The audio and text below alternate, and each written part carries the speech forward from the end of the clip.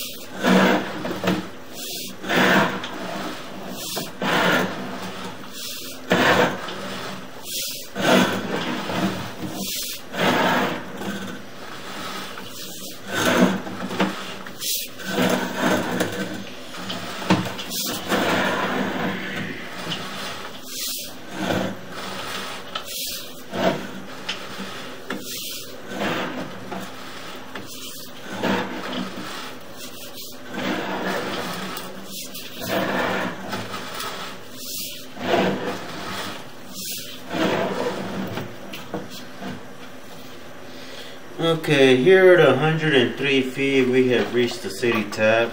Line is constructed of PVC and SDR35, all plastic pipe. There is a section at 27 feet where it has roots. Again, this is plastic pipe. You should not have root intrusion on plastic. Um, so we're gonna pull back to that area and locate that section and see where it's at and how deep.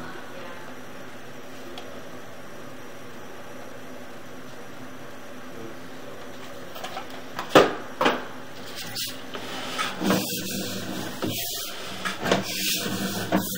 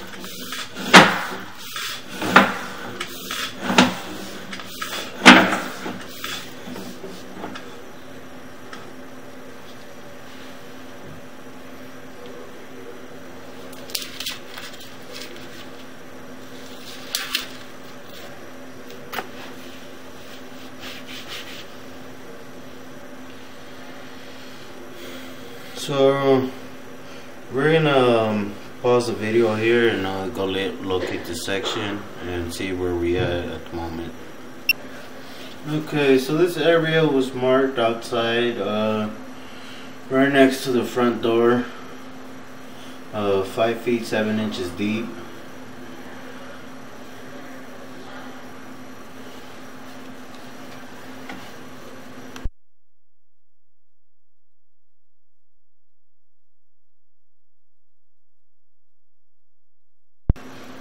Again, this is for 2915 Haystack Drive.